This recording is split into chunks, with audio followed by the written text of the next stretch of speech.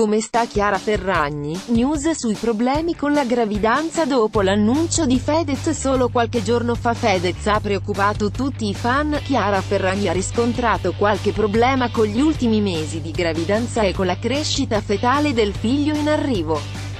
Come sta ora The Blonde Salad? Cosa è emerso dall'ultima ecografia e dai recenti accertamenti medici? Ebbene, pare che la situazione sia migliorata.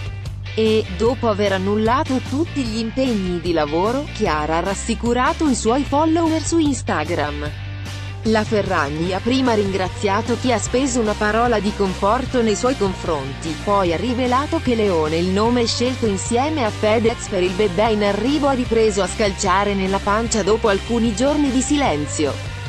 Giorni di ansia e preoccupazione per la famosa coppia, che si è trasferita da qualche settimana a Los Angeles.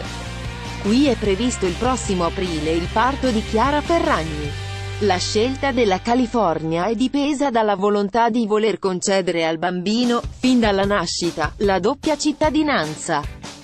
Che problema ha Chiara Ferragni con la gravidanza? Grazie dal profondo del mio cuore, da Fede e grazie anche da Leoncino che scalcia come un pazzo, ha scritto Chiara Ferragni su Instagram.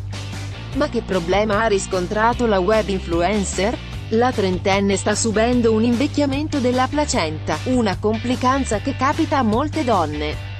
In pratica la placenta che è l'organo che nutre il feto sta invecchiando precocemente e sta intaccando la corretta crescita del bambino. Le cause di questo fenomeno? Nella maggior parte dei casi sono tre, il fumo, il diabete gestazionale e l'ipertensione. Alla Ferragni è stato consigliato il riposo assoluto proprio per favorire l'ossigenazione del feto, in altri casi si opta per un parto pretermine.